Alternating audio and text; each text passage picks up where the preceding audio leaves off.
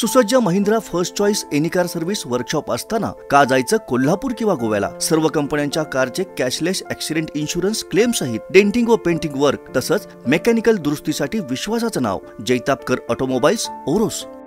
कुडाळ तेंडुल येथील भोंगपुलाचा लोकार्पण सोहळा राज्यमंत्री रवींद्र चव्हाण यांच्या हस्ते झाला.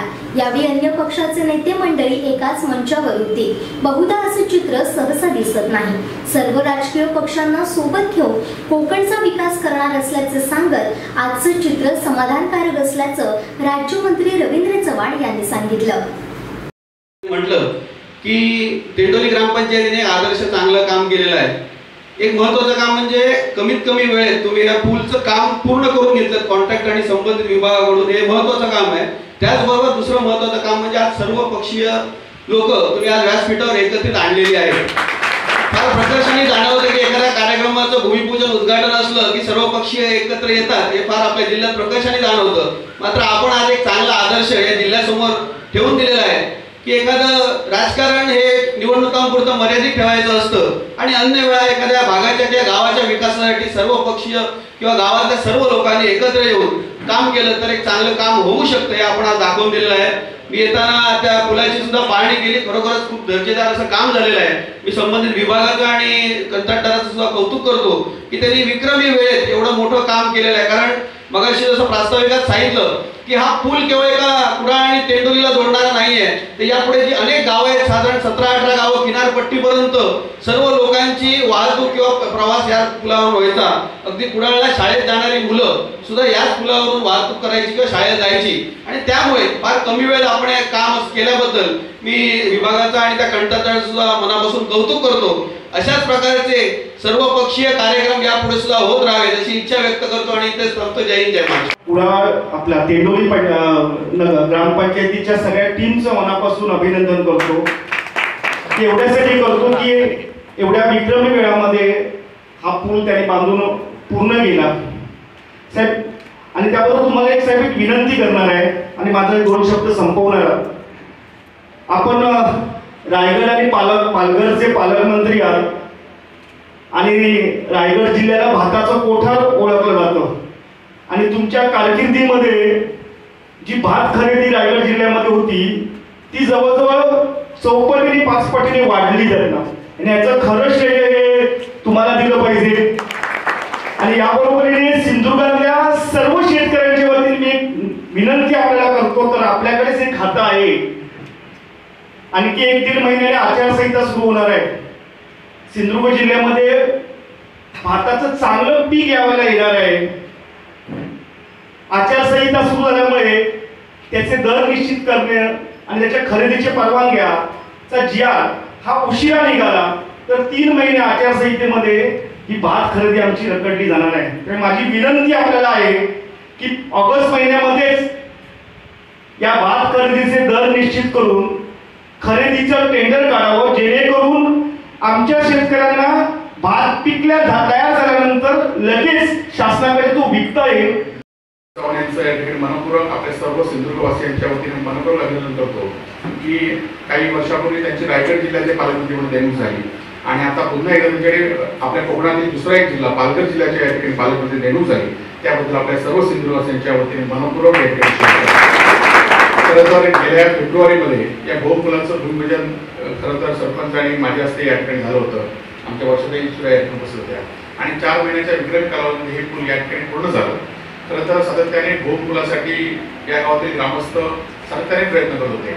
आणि माननीय चंद्रकांत पाटील यांनी हा पुलाचं या ठिकाणी ताबडतोब बजेटमध्ये मंजुरी देऊन रवींद्र चव्हाण यांची शिफारस घेऊन ताबडतोब या ठिकाणी पूल मंजूर केलं.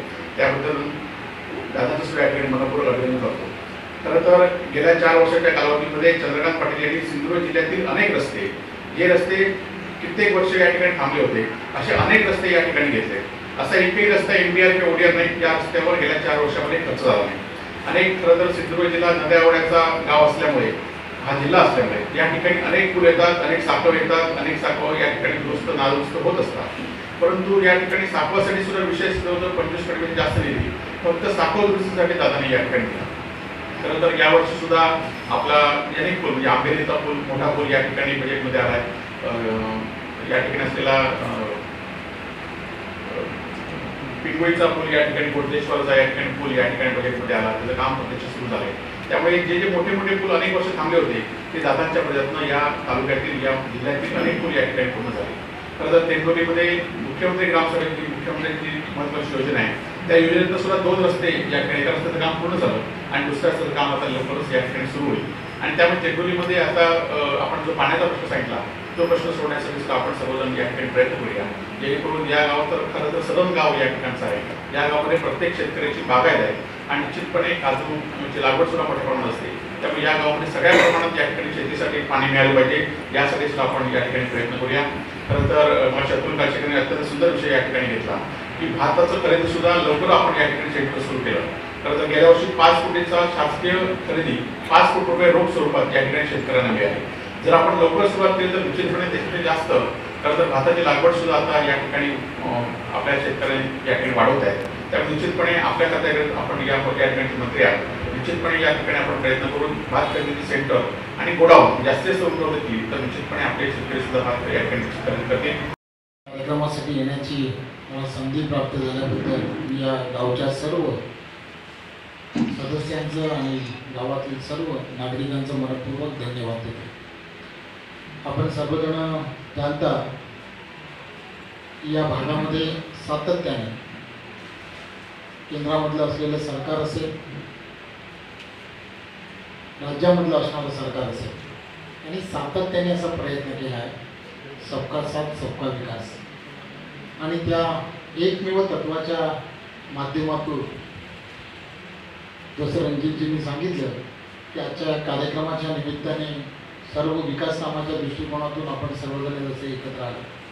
तसं संपूर्ण देशामध्ये सुद्धा कोणत्याही प्रकारचं राजकारण न करता विकासाचा निधी हा प्रत्येक छोट्या छोट्या गावापर्यंत पोहोचला पाहिजे या मानसिकतेतून माननीय पंतप्रधानांनी काम केलं. आणि त्यामुळेच हे गौरवित यश हे प्राप्त झालं. त्यांनी एक दोन ऐतिहासिक निर्णय घेतला. चौदा व्यक्ती आयोगाचे पैसे हे डायरेक्ट ग्रामपंचायतींना दिले पाहिजे. त्यामुळे गावातील असणारा सरपंच याच्या याला थोडीशी येणाऱ्या काळामध्ये जी सूट मिळाली सूट यासाठी म्हणतो की त्याला काम करण्यासाठी काहीतरी पैसे त्याच्या हातामध्ये यायला लागले. हे याच सरकारच्या माध्यमातून झालं. की जे पूर्वी या सर्व गोष्टी अतिशय वेगळ्या पद्धतीने केल्या जात होत्या. या सर्व फाईल्स आणि फाईल्सच्या गुरफट्यामध्ये अनेक वर्ष निघून जायची एखादा सरपंच त्याची कारकिर्द कधी सुरू व्हायची आणि कधी संपायची हेच लोकांना कळत नसायचं त्यामुळे यातून सर्वातून मार्ग काढण्याचं काम हे या सरकारच्या माध्यमातून झालं. या पुलासाठी विशेष असं या गावातील असणारे सर्व लोकप्रतिनिधी असतील निलेश तेंडुलकर त्याचबरोबर राजू राऊत याचा असणारा प्रचंड पाठपुरावा. हे सातत्याने दोघंही गावात राहत नाही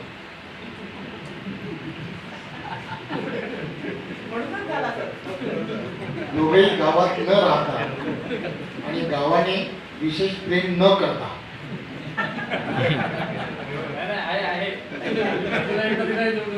विशेष प्रेम राजकारणामधलं न करता. तरी सुद्धा एवढे सर्व प्रयत्न करणं हे काही तेवढं सोपं तांदूळ आहे तेवढी रिक्वायरमेंट सरकारची लक्षात घ्या. आपली रिक्वायरमेंट कसं असतं की मागणी. मागणी जेवढी असते तेवढंच आपल्याला खप असतो जसं म्हटलं जातं. सिंधुदुर्गामध्ये असणाऱ्या नॅशनलची मागणी ही अनेक अनेक वर्षापासूनची फार मोठी आहे. त्यामुळे या भागामध्ये त्याची आवश्यकता आहे. जर आपण या भागामध्ये जास्तीत जास्त भाग हा लावला अजूनही वेळ गेलेली नाही तर आपल्याला त्याच्यातून मिळणारं जे शाश्वत उत्पन्न आहे ते शाश्वत उत्पन्नामध्ये आपल्याला मोठ्या प्रमाणामध्ये फायदा होऊ शकतो हे आपण सर्वांनी लक्षात घेतलं त्यामुळे आपण सर्वांनी या सर्व विषयांमध्ये नक्की लक्ष देऊन काम करण्याची गरज आहे. त्या भागामध्ये पी डब्ल्यूच्या माध्यमातून दिली गेलेली अनेक कामं आणि या सगळ्या गोष्टी. आत्ताही या सगळ्या गोष्टींमध्ये सरकारच्या माध्यमातून अनेक योजना आलेल्या आहेत. त्यामध्ये कृषी सन्मान योजना जी आपण म्हटलं जातं की जी शेतकऱ्याच्या सन्मानासाठी असणारी योजना. आहे त्याची नोंदणी करणं हे सुद्धा अत्यंत गरजेचं आहे. सदस्य म्हणून या गावातील असणारे आपण ग्रामपंचायतीमध्ये निवडून आलेल्या सदस्यांनी गावामध्ये असणारा प्रत्येक ज्याचा सातबारा आहे त्या सातबाऱ्यावरील असणारा प्रत्येक व्यक्ती त्याला शेतकरी सन्मान योजनेचा सदस्य करणं अत्यंत गरजेचं आहे. त्याचे फॉर्म भरणं अत्यंत गरजेचं आहे की जेणेकरून त्याचे पैसे हे शेतकऱ्याच्या अकाउंटवरती डायरेक्ट जाण्याची व्यवस्था आहे. त्यामुळे ह्या सगळ्या गोष्टी शेतकऱ्यांना कदाचित हे तिथल्या असणारा ग्रामीण भागातील शेतकरी याला सर्व या गोष्टीचं ज्ञान असेल ना तर ते कदाचित असणार नाही. त्यामुळे आपण सर्वांनी लोकांपर्यंत जाऊन हे सर्व विषय मार्गी लावणं हे अत्यंत गरजेचं आहे. शेतकऱ्याला येणाऱ्या काळामध्ये पीक विमा योजनेचे पैसे मिळाले पाहिजेत यासाठी प्रयत्न करणं अत्यंत गरजेचं आहे. त्याचबरोबर येणाऱ्या काळामध्ये आपली सर्व ही नोंदणी झाल्यानंतर कदाचित आपल्याकडून कधी एखाद्या शेतकऱ्याचा अकस्मातिक मृत्यू झाला किंवा त्याला अपघाती मृत्यू झाला तर त्याच्यामध्ये इन्शुरन्सची व्यवस्था सुद्धा त्यामध्ये आहे. त्यामुळे या सगळ्या योजना या शेतकऱ्यांच्या दृष्टिकोनातून किती हितावं आहे हे सगळं आपण लक्षात घेऊन त्यामध्ये काम करण्याची गरज आहे. सरकार शंभर टक्के आपल्या पाठीशी आहे. कोकणातल्या ताज्या घडामोडी सर्वप्रथम पाहण्यासाठी सबस्क्राईब करा. कोकणचं महाचॅनल सिंधुदुर्ग लाईव्ह यूट्यूब चॅनल आणि ताज्या घडामोडी पाहण्यासाठी बेल आयकॉनवर क्लिक करा.